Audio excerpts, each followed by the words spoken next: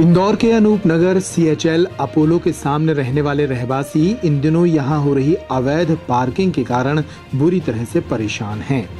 दरअसल इस अवैध पार्किंग के कारण सरकार द्वारा बनाई गई आधी रोड पर वाहनों का कब्जा है और यहाँ रहने वाले लोग ना तो घरों से बाहर निकल पा रहे हैं और न ही अपने वाहनों को घर के आसपास रख पा रहे हैं।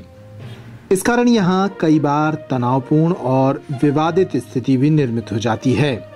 स्थानीय लोगों ने बताया कि कुछ असामाजिक तत्वों ने यहाँ गार्डन की ज़मीन पर तार फेंसिंग कर दी है, जहाँ पहले गाड़ियाँ पार्क होती थीं।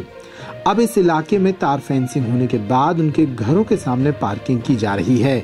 लोग कई बार प्रशासनिक अधिकारियों को अपनी पीड़ा सुना चुके हैं, लेकिन फिर भी कोई निराकरण नहीं हुआ। अब लोगों ने मीडिया से अपनी गुहार लगाते हुए कार्यवाही की मांग की है। भैया, ये बताइए ये जो बीच रोड पे गाड़ियाँ लगी हुई है, इसमें कभी कोई आग लग जाए या फिर कोई वो हो जाए तो उसके लिए क्या वो है? आप यहाँ पे गार्ड पे हैं। आप कभी इस पर कोई ऑब्जेक्शन नहीं लेते हैं? आप कोई ऑब्जेक्शन नहीं लेते हैं इस पर सर, ये तो कोई सोसाइटी के आदमी को बुला कर आप पूछ नहीं सर मेरे से पूछ रहे हो ना हाँ। ये चीज़ कोई सोसाइटी के आदमी को बुला के पूछिए कि गाड़ियाँ ऐसे क्यों लग रही हैं? अच्छा।